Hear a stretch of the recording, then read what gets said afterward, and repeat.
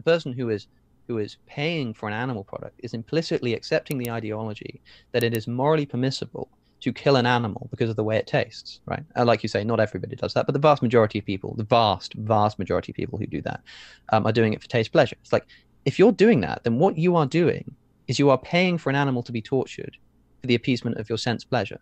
Just, just to make this easier to understand how it feels like to be told that I shouldn't be telling people not to do that. Just swap out the variables. Take a different sense pleasure and take a different non-human animal. Let's say that somebody was killing dogs or paying for someone to torture dogs and put them into a gas chamber because they really liked the way that it sounded when the dog squealed.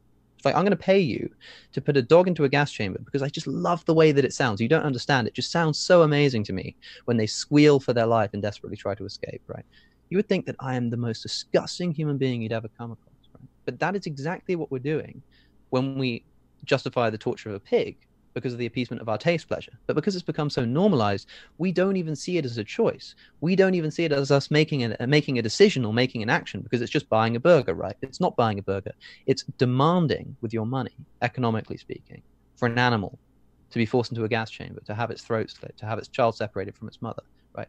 And so people call me extreme for wanting this to end. If you want extremity, look no further than what we're doing to animals